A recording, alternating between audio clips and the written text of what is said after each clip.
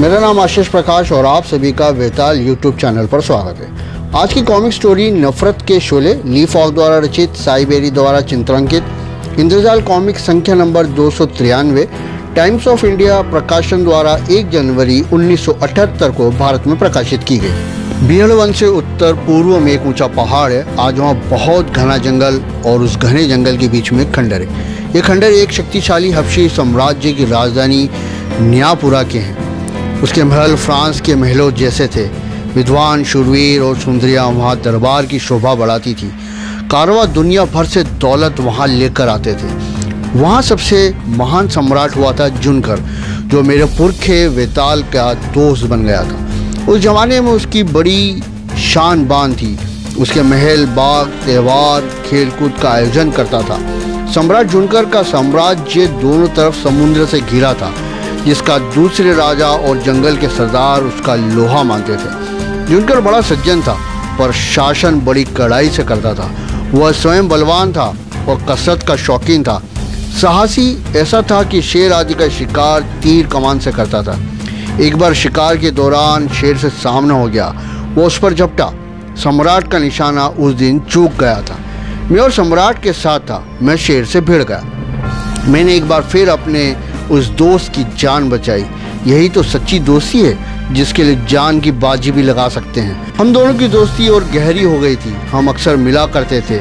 हम दोनों कभी कभी साथ में अभ्यास करते थे। हम लगभग ऐसे असंभव से शिकार भी करते थे। फुर्सत के समय शतरंज खेलते थे। एक दिन जुनकर मुझसे बोला, मैंने सुना है कि अरब बादशाह भिकारी के बेश में, प्रजा के बीच में जाकर उनकी दशा का पता लगाया करता था। मैं भी ऐसा करूँगा। कुछ महीनों बाद जब मैं उससे मिलने गया तो पता चला, जुनकर बिना किसी को बताए कहीं चला गया। लगता एक रात जब सारा महल सो रहा था तो वो निकल गया। संतरी भी सो रहा था। एक आम आदमी के समान चल पड़ा, जहाँ बिन शान बान सम्राट के ताज के उसे कोई नहीं पहचान पा रहा था। वह जीवन यापन के लिए जो काम मिलता था, कर लिया करता था, जहाँ कड़ी मजदूरी करते थे और बदले में पैसा मिलता था। वहाँ लोगों से ज़ोर ज़बरदस्ती से काम में लेते थे। शाम को सभी मजदूर मौज उड़ाते थे। कभी कभी उनका भाग्य भी चमक जाता था। एक दिन कुछ लोग जुनकर पर नज़र लगाए हुए पीछा कर रहे थे। जुनकर मजदूर के वेश में राज्य की सभी बातें जान रहा था। अगर कोई कर न चुकाए तो जेल में डाल देते थे। जुनकर के दोस्त ने कहा, यह सब बातें सम्राट को पता होनी चाहिए। जुनकर ने बोला, सम्राट पर बहुत भरोसा है तुम्हें। उसके दोस्त ने कहा है सुना है वो बहुत अच्छे हैं। कुछ लोग अभी भी इन पर नज़र लगाए हुए थे। जब जुनकर और उसका दोस्त कुछ पीने के लिए होटल जाते हैं, वहाँ अजनबी उनको साथ में पीने का न्योता देते हैं। शायद वे दोस्ती का हाथ बढ़ा रहे थे। जुनकर पीते ही बेहोश हो गया था और दोनों अजनबी उसे उठा कर ले जाने लगते हैं। जेमी ने कहा, यह नहीं हो सकता। मेरा दोस्त तो पूरी बोतल पीने पर भी नहीं लड़खड़ाता जब दरबार को सम्राट की चिंता हुई तो उसकी फौज ने पूरा जंगल छान डाला, पर वो कहीं और था, जिसे मार कर बेहोश कर दिया था। जुनकर को नाव में लेकर चल पड़े बेचने के लिए, और उसे बेच दिया जहाज़ पर गुलामी करने के लिए। जुनकर के होश में आने से पहले बेड़िया लग चुकी थी। शान शौकत वाला सम्राट जुनकर गुलाम हो गया था। उसे नहीं पता था कि वो कहाँ पर है। इधर जुनकर का दोस्त जेमी को होश आया तो होटल मालिक से पूछा, उसने कहा, तुम्हारी शराब में कुछ मिलाया था उन अजनबियों ने। जेमी ने पूछा, कहाँ गए मेरे दोस्त को लेकर? उसे वे उठा ले गए। वे गुलामों के सौदागर हैं, जेमी। जुनकर के सिपाही मुझसे मिले और जुनकर के गायब होने की जानकारी दी। जंगल भर में संदेश भेजा सम्राट जुनकर को खोजो। बेताल का हुक्म है। संदेश नगाड़ों के द्वारा उड़ चला। जब जुनकर को होश आया तो उसे सच्चाई पता चली कि उसे गुलामों के सौदागरों ने बेच दिया है। लेकिन जुनकर को गुलाम बनना राज़ी नहीं था। उसने विरोध करना शुरू कर दिया। बोला, मैं जुनकर हूँ, यहाँ नहीं रहूँगा। इस बात पर उसे कोड़ों से पीटा गया। इधर जुनकर के सिपाही और जंगलवासी सम्राट को खोज रहे थे, जो व्यर्थ था।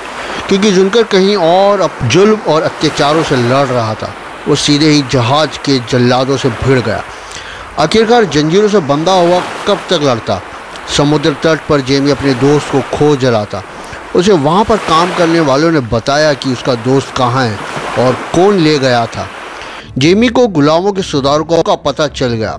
फिर क्या उसने उनको धमकाया कि जहाज़ पर ले चलो, जिस पर उसके दोस्त को बेचा गया। जैसे तैसे वे मान गए।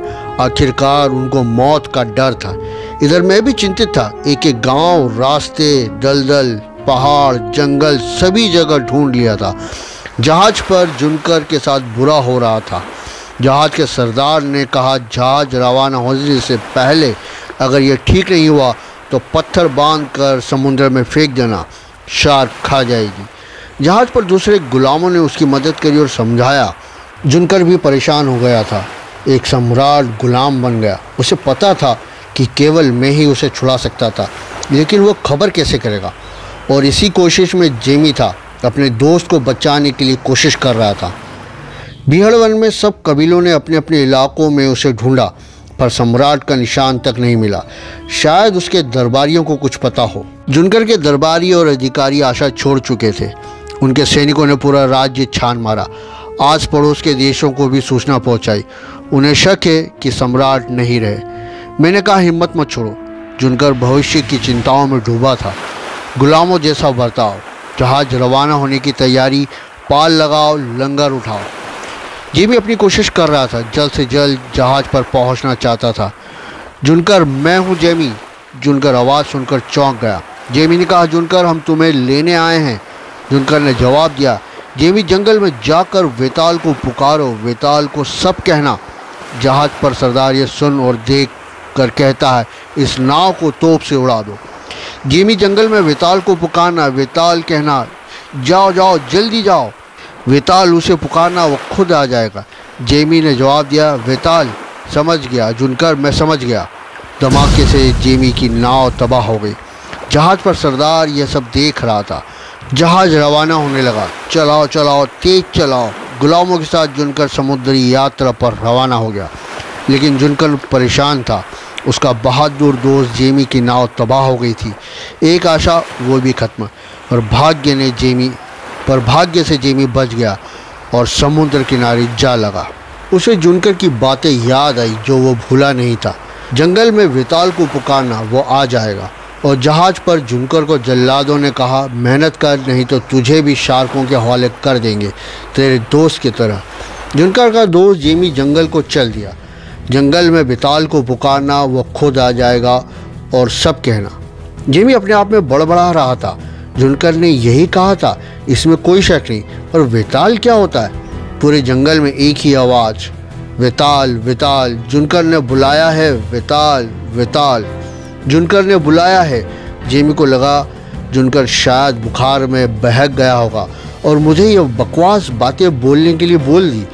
पर जेमी ने जुनकर को वादा किया था। जंगल वालों की कहावत है वेताल की हज़ारों आँखें और कान हैं। हवा में कई नगाड़ों की आवाज़ गूंज उठी। विताल जुनकर ने बुलाया है। जुनकर विताल को पुकारता है। निर्जन जंगल में कोई पुकारे तो मूर्ख ही लगेगा। हर तरफ़ नगाड़े बज रहे थे, लेकिन क्यों? जेमी को क्या पता था कि ये उसी के कारण बज रहे हैं और ये खबर आखिरकार मुझ तक पहुँच गई। मुझे बताया गया कोई गधे पर सवार मुझे पुकार रहा है। न जाने कितनी झूठी खबरें मिली। यह भी वैसी ही होगी। मैंने कहा, जंगल वालों ने खोजा, सेना ने खोजा, जुनकर ज़रूर मुसीबत में है। मैं उससे मिलने जाता हूँ, शायद जुनकर का कोई पता मिले। वह जीवित हो। मुझे बताया गया, वो गोरा आदमी विताल शिखर के पूर्व की तरफ़ देखा गया था। मैं अकेले ही निकल पड़ा, जल्दी पहुँच जाऊँगा। जिमी भी पुकार पुकार कर थक गया था। न जाने ये वेताल है कौन? और पहाड़ी की चोटी तो आदमी के सर जैसी है। जेमी ये सब बड़बड़ा रहा था, और मैं ठीक उसके सामने जा पहुँचा। मैंने जेमी से पूछा, तुम मुझे क्यों पुकार रहे हो? जुनकर का नाम लेकर। जेमी बोला, तुम वेताल हो? तुम आदमी हो या पहाड़? आदमी या पहाड़ और जेमी चकरा कर बेहोश हो गया। जेमी संभलते हुए बोला, माफ़ करना, बेहोश हो गया। वो चोटी और तुम बिल्कुल एक जैसे। मुझे चक्कर आ गए थे। मैंने पूछा, जुनकर को जानते हो? प्यास लगी है, जानता हूँ बेचारा जुनकर को। मैंने पूछा, बेचारा जुनकर वो है कहाँ? जीवित है या जेमी ने बताया, मर जाता तो छुटकारा पा जाता। राजा के जहाज़ पर गुलाम है। मैं आश्चर्यचकित हो गया।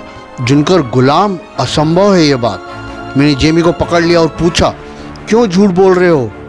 कहाँ है जुनकर? जेमी घबराते हुए बोला, नहीं, वो मेरा दोस्त है। उसने मुझे भेजा, कहा, तुम उसे बचाओगे। मैंने जेमी को बताया, तुम्हें मालूम है, तुम्हारा वो दोस्त न्यापुरा का सम्राट है। जेमी ये जानकर अचंभित हो गया, जुनकर सम्राट है? मैं और जेमी निकल पड़े जुनकर की ओर। जुनकर को गुलामों की तरह रखा जा रहा था। अब उससे सहन नहीं हो रहा था। वह जहाज़ के जल्लादों से भिड़ गया, सरदार को भी पीट गया। जल्दी उसे काबू कर लिया मार पीट कर अजमरा कर दिया। सरदार ने कहा, इसने मुझ पर हाथ उठाया, इसे यातनाएँ देंगे। सबसे पहले शुरू करो डुबकियों से। डुबकियाँ यानी आदमी को जहाज़ के नीचे से दूसरी तरफ़ खींचना। प्राचीन काल की सज़ा, जिसमें आदमी अक्सर मर ही जाता है। जुनकर को जहाज़ से लटकाया गया और सज़ा देने के लिए जहाज़ के नीचे से दूसरी तरफ़ खींचा गया। लेकिन जुनकर मज़बूत था। लेकिन कब तक? पर मदद आ पहुँची थी। जेमी ने बताया, वह राजा का जहाज़ जिसमें मेरा दोस्त, मेरा मतलब सम्राट जुनकर गुलाम है। तुम यहीं ठहरो और मैं पानी में कूद पड़ा। मैं जहाज़ की तरफ़ बढ़ रहा था।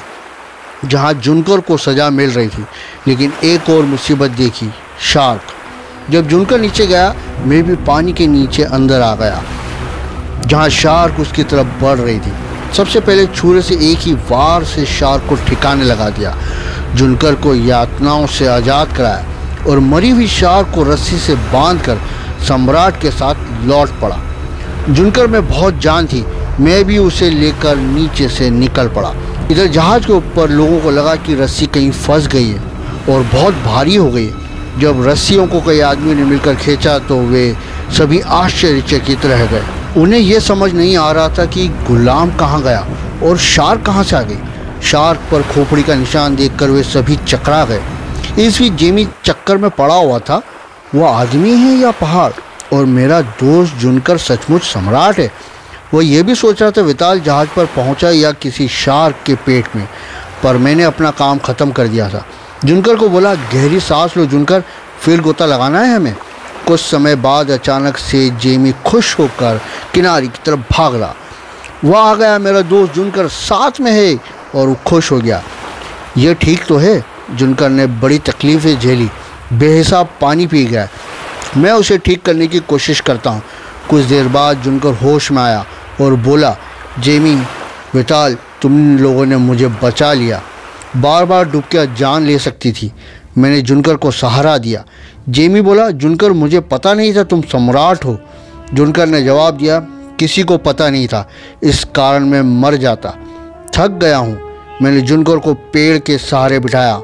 बोला, यहाँ आराम करो। कुछ ताकत आ जाएगी, तब घर चलेंगे। और क्या क्या पता लगाया तुमने, मामूली आदमी बनकर? जुनकर ने जवाब दिया, पता चला कि गुलामी क्या होती है। मेरे राज्य में गुलामी अब नहीं होगी। उसे तुरंत ख़त्म करूँगा। और जहाद का सरदार राजा, उसे तो मैं कभी नहीं भूलूँगा। उसे सचमुच कभी नहीं मिलेगा।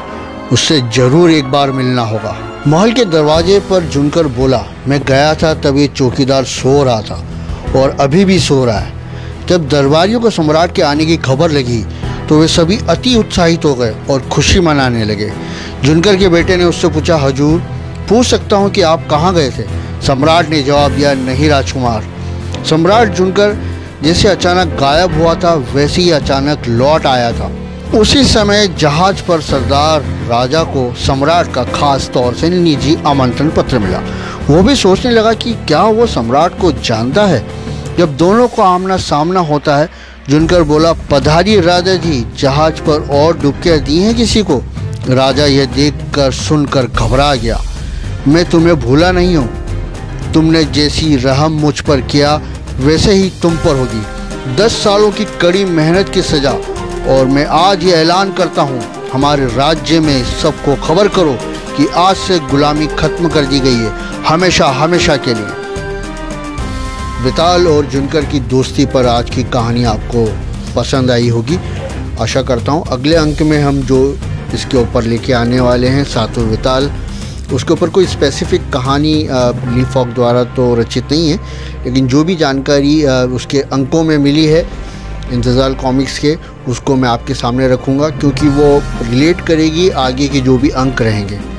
सभी को वेताल चलता फिरता प्रेत।